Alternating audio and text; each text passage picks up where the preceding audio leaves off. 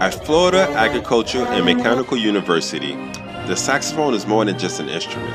It's a symbol of rich heritage and cultural diversity that defines this historic institution. In this one minute documentary, we